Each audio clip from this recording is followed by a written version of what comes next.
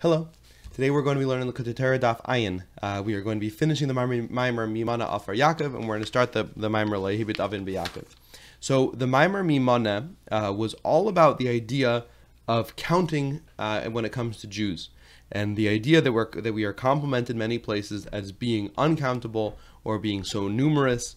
Um, and and and we're the, the Alter Rebbe is trying to understand what exactly that means, um, and what the compliment is there. And what he has essentially laid out is that there's two uh, perspectives on uncountability. One is that something is so numerous that it that it's difficult to count, like the sand um, in the in the of the ocean, where we say that it's impossible to count, even though it's technically not impossible. Um, and then there's the perspective that the individuality uh, and the distinction between different types is not relevant to me.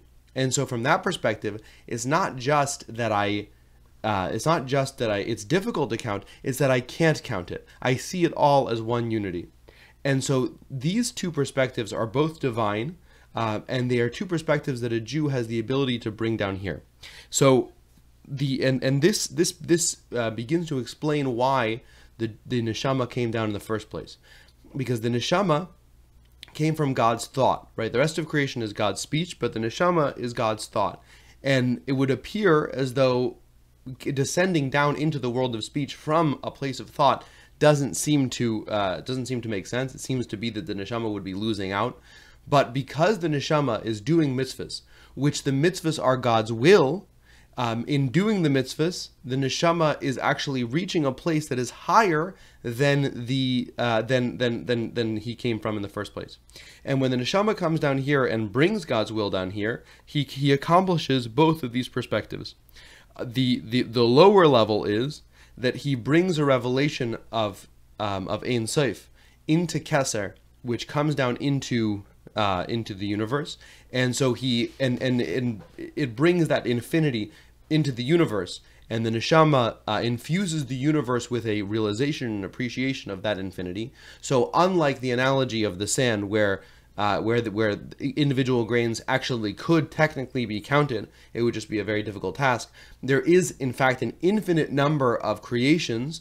Uh, there's an infinite number of created beings in the worlds of Bria, Yetzirah, and Asiya but and and the and the Jew has at the lower level um, through through through performing mitzvahs, the Jew prov- infuses creation with an appreciation of the fact that its infinity is based on its relationship with God.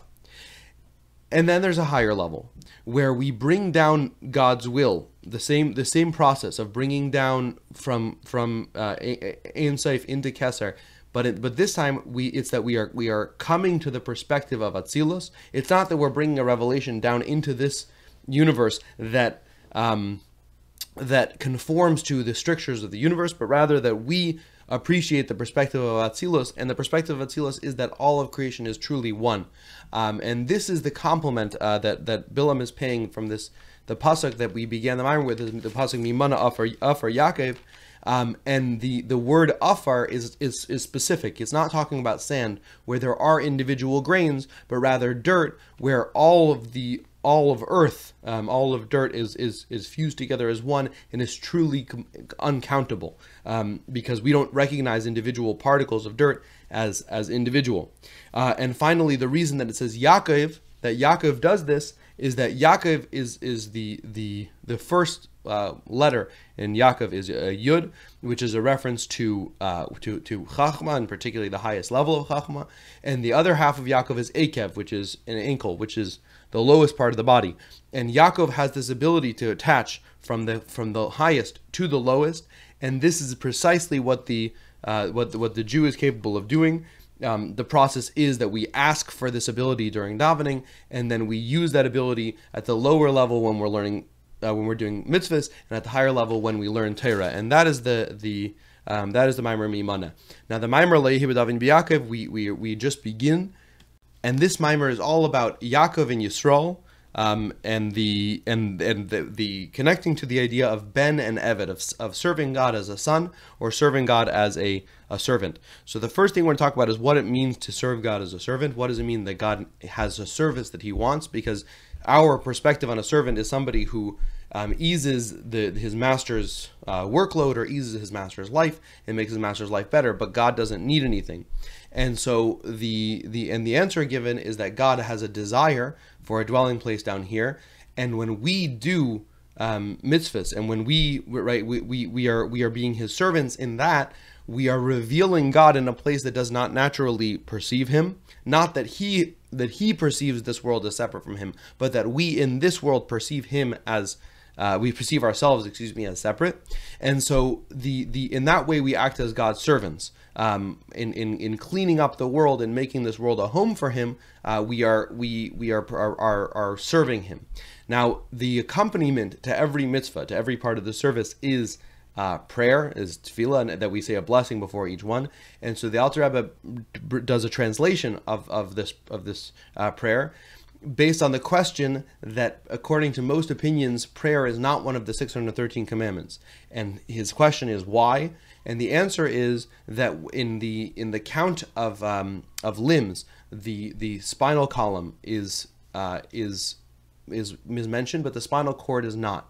And so the um, right and the the the the 18 bones of the spinal column are uh, al- are aligned in in the Talmud and in the Zohar with the 18 blessings of Shemoneh Esrei, and so the the Alter the, the, the Rebbe hones in on this metaphor and says that the idea of prayer is all about bringing life to all the mitzvahs, much like the spinal cord has the job of bringing life and bringing vitality to every part of the body.